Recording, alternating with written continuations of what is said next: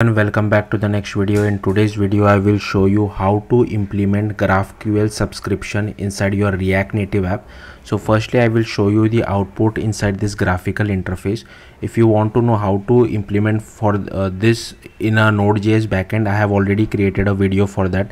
So if you are interested you can watch that video.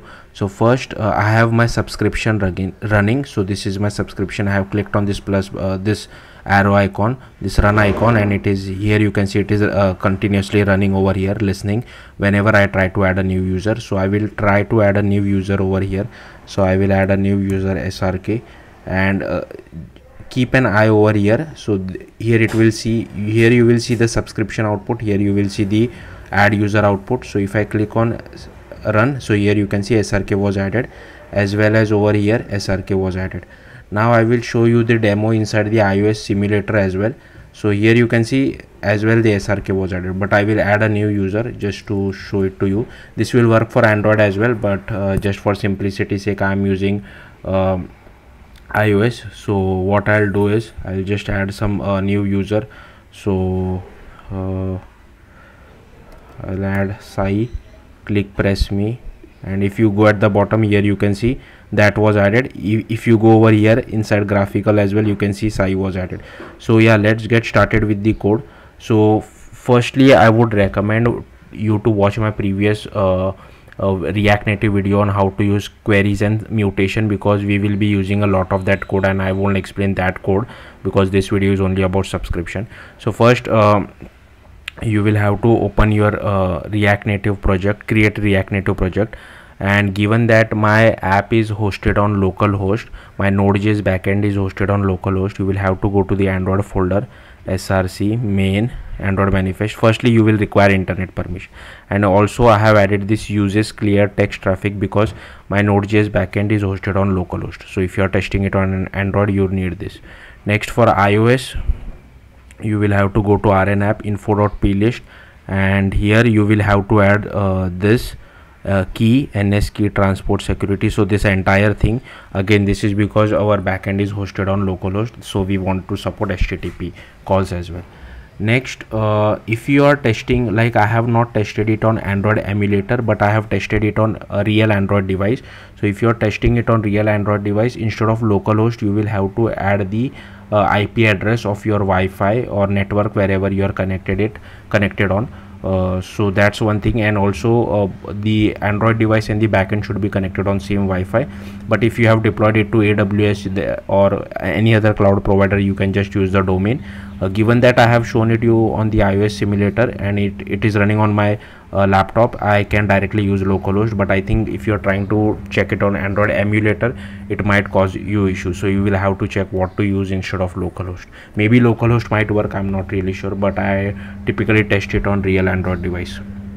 So first you will have to go to package.json and you will have to add apollo client graphql and graphql-ws these three libraries you will have to add. Next you will have to go to app.tsx and here you can see uh, I have imported all this stuff. So this all these things from Apollo client. Uh, this create client from GraphQL dash WS and this GraphQL WS link and get main definition uh, as well from Graph Apollo client link subscription and Apollo client utilities. Then you will have to create a ws link so my uh, graph my uh, node.js backend is hosted on localhost colon 4000 slash graphql. So for uh, ws is basically like a websocket link for uh, which is equal to graphql subscription. So that's why you have to use ws over here. And for normal uh, queries and mutation you will have to use http so i'm using http over here. Then i'm creating a split link. Uh, so depending on what operation the user is trying to perform that particular link will be used so here i'm using ws link and http link. Okay and here then uh, we need to pass the split link over here uh, to create our apollo client. And i am i have created this uh, context provider so that all our components um, can make use of this apollo provider as well. Now if you go to my component it just has a uh, what you can say a text input. So here you can see it has a text input uh, where we will enter the values i have created a use state for the text input as well. This is the mutation for adding a query and uh, this is for whenever the text input changes. And once the button is pressed uh, i'm just entering this uh, name text input value for name. All other values are hard coded for now uh, but yeah that's fine. And this is for loading indicator. Once you submit a text input this in case this is for error in case there is any error uh, okay and here is the button press. So that's it on the add user mutation part. This i have already covered in my last video so i'm not going it in depth. Now here is the main part of uh, queries as well as subscription. So firstly once the user opens the app i want to query all the user. Okay so as soon as the user open our app i want to get all the user which are already present inside our database. So first i have taken this use state uh, which will uh, contain a list of all the users so uh, so array of strings uh, and not a string but array of this users. So here i have created our get user query as well. And i have imported use query gql and use subscription from apollo client.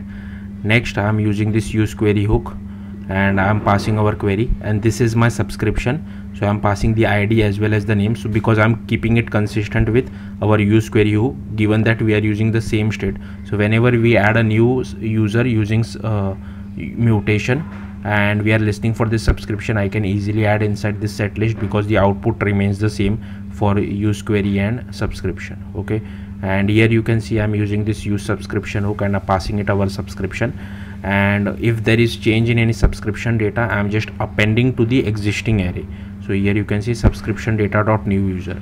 And if you see the output for subscription it is new user. And inside the new user it contains name and id here i'm just uh, requesting name. That's why you're not seeing id over here but you can request other fields as well. So but once we get the proper data i'm just appending it to the uh, list. So this will get called only once because use query is only called as soon as our component is mounted but subscription data can be called again and again uh, because we are constantly listening for that data whenever a new user mutation is being done. Inside render item this is how i'm rendering our uh, uh, flat list items.